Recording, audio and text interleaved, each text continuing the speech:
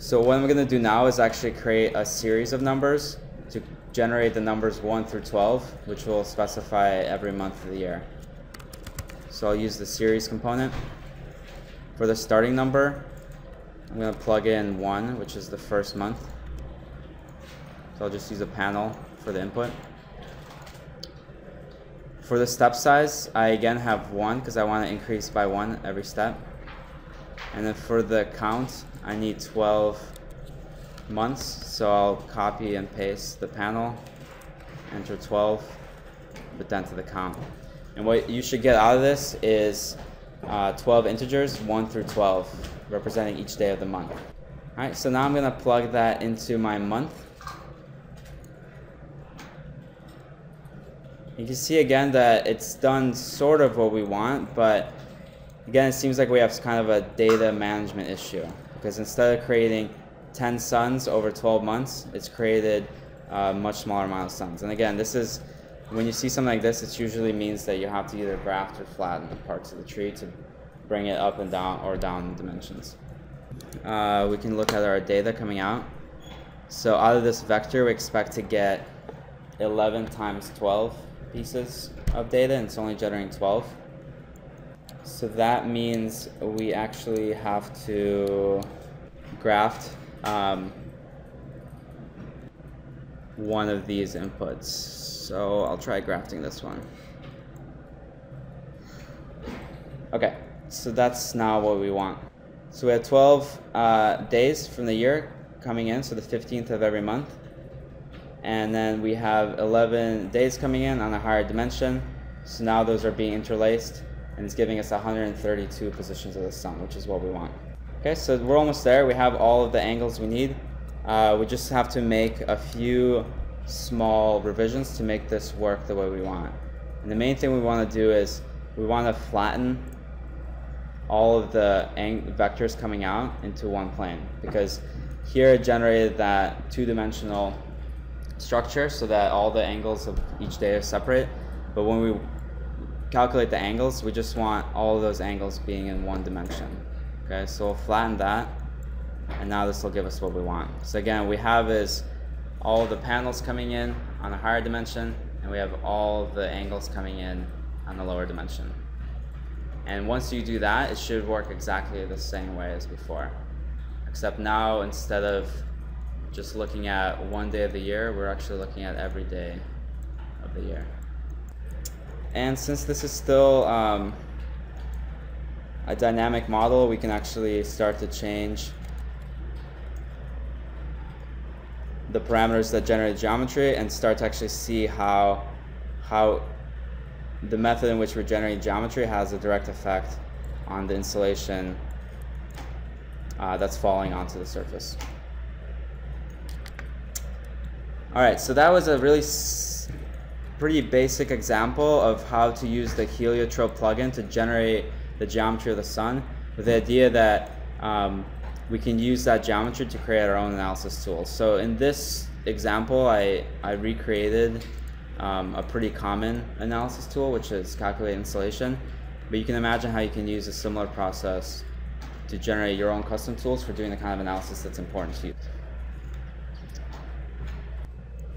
You see also what's cool about this is if I hide the, the panels, you can see all the solar angles here. You know, so you can always take any piece of data from Grasshopper and visualize it in the Grasshopper view. You can also imagine doing something like um, for each, instead of for each panel adding up all the insolation, for each vector adding up the total insolation and visualizing that on the series of vectors so you can see like what part of the year the most energy is falling onto.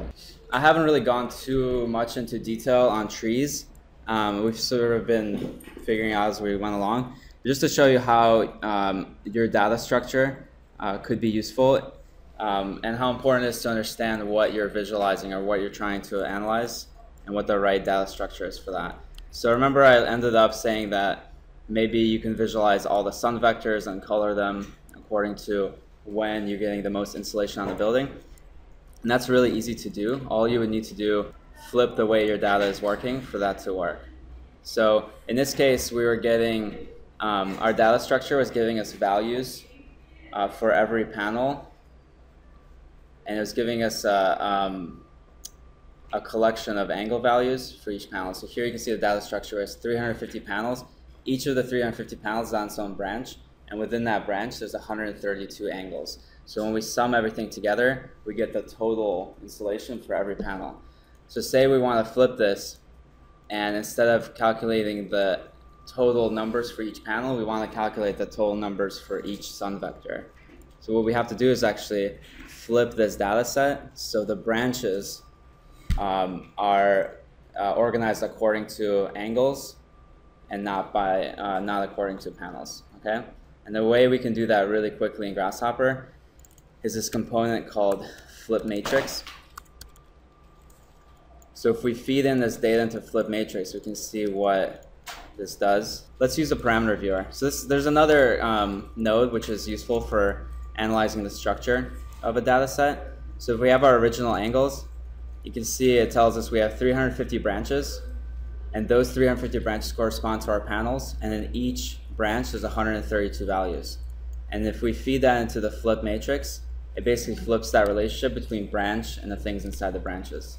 So we plug this in here, we say we see we have 132 branches, and there are 350 values in each branch. Okay, so once we have that flipped, you can see that we have the total insolation over all the panels for each uh, sun angle that we're working with. And now we can plug that into our data structure. So it's the same as before. All we've done is change the way that the data is structured. But now we're doing is calculating the data for each angle.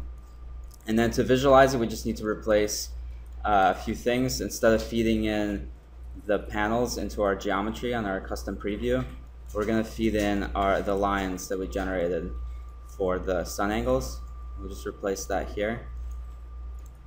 Hide that. Show that. And then we also need to uh, flatten those lines because right now we're getting a color for each of the 132 vectors but they're being organized into this complex data structure. So to make it line up with these colors, we just need to flatten it. Okay, so now we have our 132 lines and 132 uh, colors. And now what this is telling us